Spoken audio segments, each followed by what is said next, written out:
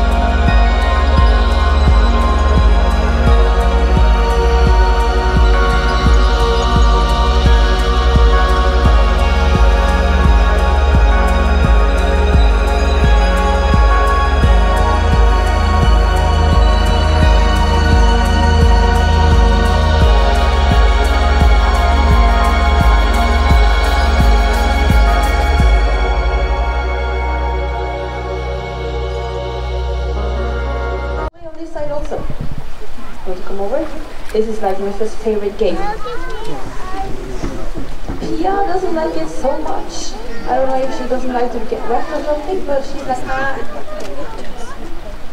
So that is her. By the way, now when I'm talking, uh, take a look at how they swim, because they have webbing between their toes. And also I want to uh, talk a little bit about the fur later.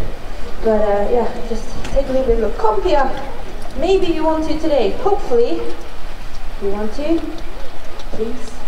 There you go. Yeah, okay. Perfect. Um, so yeah, the two families took them in. The thing actually was found beside her mother that was run over by a car. So she was dead. Um, and uh, she would probably not have survived if the family didn't brought her in. Um, she was just a few weeks old at the time. So that is uh, like the ethical question of animals and so on. You want this one, Ruffe? This is like, I just have one small bite left, so I don't know who's going to get that one. But now look at Mifu when he is swimming, because they have the fur, and I, I want to talk a little bit about that one, because that is maybe like one of their most important tools to survive out in nature in general. Uh, first of all, up here in Norway, they live, the European otters live um, all the way out down our coasts, uh, but also inside of the country where you can find fresh water. Um, so they need to have like a really warm fur. Um, they have somewhere between 70,000 and 100,000 hair straws in one square centimeter, so a lot of hair. Um, and especially now, hopefully, one of them, maybe Lucy's finished soon, so I will throw in so you guys can see. Do you want to come here, Lucy? Perfect. Almost as ordered. You want this one? Okay, there you go.